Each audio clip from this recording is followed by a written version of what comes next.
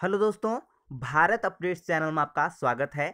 और दोस्तों, आज एक अपडेट यहाँ पर आई है न्यूज़पेपर में।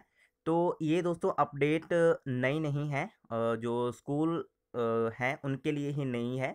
और जो कॉलेज हैं, उनके लिए ये पुरानी ही अपडेट है। ठीक है, मैंने आपको बहुत बार बताई है। तो चलिए देख लेते हैं यहाँ पर क्या अपडेट है। तो दोस्तों, ये रही अपडेट। लॉकडाउन के बाद होंगी बोर्ड परीक्षाएँ। और अगर हम बात करें कॉलेज की तो यू जी पी जी व एच पी यू के इम्तिहान भी तीन मई के बाद तय करेगी सरकार। तो मैंने आपको बहुत बार बोला है आप बहुत बार कमेंट में पूछते हो कि हमारे एग्ज़ाम कब होंगे।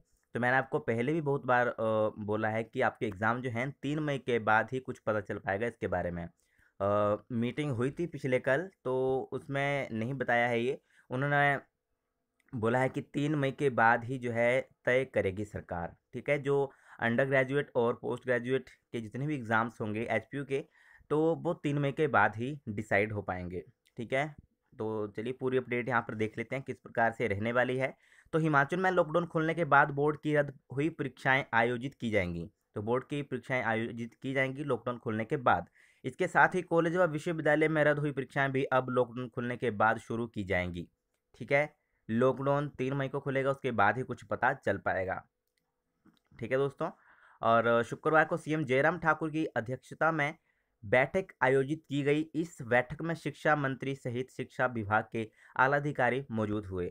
शिक्षा के जुड़े अहम मुद्दों पर हुई इस बैठक में कई निर्णय लिए गए।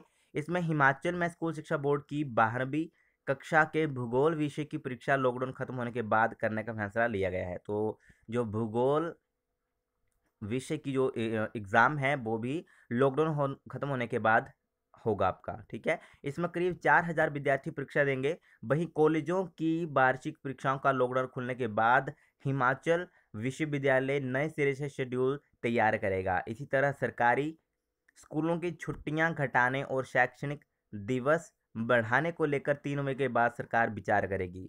बारहवीं की वोकेशनल और कंप्यूटर विषय की परीक्षाओं के नए लिए नए स्कूल शिक्षा बोर्ड को सीबीएसई से चर्चा करने के बाद फैसला लेने के लिए अधिकृत किया गया है।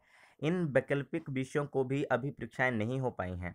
बैठक में शिक्षा मंत्री सुरेश भारद्वाज ने ये कहा है और कर्फ्यू के कारण ये जो परीक्षाएँ हैं, इनको पोस्टपोन कर दिया गया था। तो अभी देखते हैं। कॉलेज का पता तो तीन मई के बाद ही चलेगा, ठीक है? तो तीन मई तक आपको वेट ही करना पड़ेगा और अगर कोई बीच में कोई अपडेट आएगी तो मैं आपको बता दूँगा दोस्तों, ठीक है?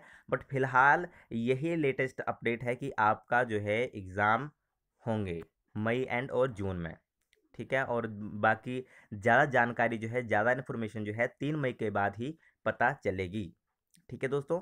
तो ये थी आज की इम्पोर्टेंट अपडेट न्यूज़पेपर में आई है, बहुत सारे न्यूज़पेपर में आज आई है, आप देख सकते हो, ठीक है?